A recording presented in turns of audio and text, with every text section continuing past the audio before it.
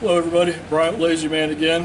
Uh, we get a couple questions asked all the time, so we're here loading up a big order to go out to one of our dealers, and I thought it'd be a perfect opportunity to kind of address it. Two questions we get are one, how can we have an all fiberglass stand, including the floor, which I'll show you here in a little bit, that retails for under $2,000. All of our blinds retail for less than $2,000 and they're all 100% fiberglass construction. Again, I'll show you some more of that in a minute.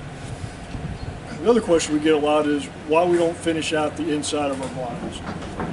And those two questions are actually, uh, you know, sort of one and the same, right? The reason we don't finish out the inside of our blinds is because, as you can see, we nest them unassembled going to our dealers. So if we would paint the inside of our blinds and finish them out, we wouldn't be able to do this. Therefore, the freight costs to get you the blind would be 10 times as expensive as what it is by being able to nest the blinds. So that's why we don't nest the, that's why we don't pre-assemble and finish out the inside of our blinds. We're trying to keep our blinds at a price point that everybody can afford. The other thing that we've found is our customers typically enjoy finishing out the inside of their blinds how they want them. So if we would finish out the blinds on the inside, not only would we be having to raise our pricing to the consumer, we would uh, not be able to nest the blinds and therefore the freight cost would be substantially more. And again, our customers would be kind of tied into how we finish out the blind. Some of our customers want shooting rests, some of our customers don't. Some want carpet, some want rubber floor matting, you name it. So by shipping the blinds unfinished on the inside, that allows us to nest the blinds, saves a tremendous amount of money on freight. We're going to have 65 blinds on this trailer. We would not nest the blinds and ship them unassembled to our dealers, we'd be able to fit about eight, depending on the blind, maybe 12 blinds max. Costs the same to ship this this 65 blinds as it does to cost eight to ship eight to 12 blinds. Okay, folks. so in the first part of this little clip, we showed uh, how we nest the blinds when we load them, and explained that that's why we don't finish out the inside of our blinds because we wouldn't be able to do that and then obviously the consumer you would be paying a lot of extra money for uh, freight. So this is what the blind looks like. Apologize I got a customer driving off with a blind that they picked up. But the inside of the blind is just 100% fiberglass. It's it's black on the inside because we put a dye in the resin so that it the fiberglass is all black. it's not black spray paint. Again, if we painted it or did anything on the inside, as soon as we nested these blinds, you can kind of see how tightly they're nested. Uh, you know, they just get all scrapped up, scraped up, etc. So that's why we don't uh, ourselves finish out the blinds. We're trying to save you money and get you 100% fiberglass blind at an economical price. We're now in the, the metal building that John and Tammy Hart with uh, Hart's Boat and RV Storage, again down here in uh, Cleveland, Texas. Uh, one of our great uh, dealers that we're proud to have here at uh, Lazy Man.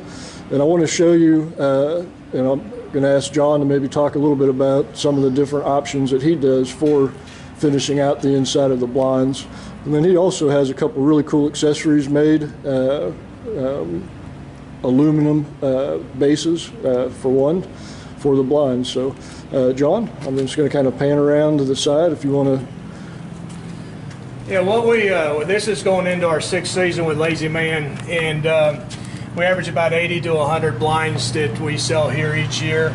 And early on, uh, when we started six years ago, when we got the, the first set of blinds in, uh, we were looking at some different options, how to dress them up after putting them together, you know, for our display. And we tried the blue insulation and all that, and I just thought it looked tacky for the, the quality of blinds that we were dealing with. So what we started doing here is building a uh, carpeted wall panel, and it's in this blind here, the Fat Girl Combo. It has six panels, and we carpet the floor and the wings, and then we carpet all the panels. And then what we do here locally is we'll sell the blind unassembled with the panels uh, in a platform or whatever the, the, the uh, purchaser may want. And sometimes, and in most cases actually, we do assemble the blind and then we'll install the carpet depending on what type of platform they buy.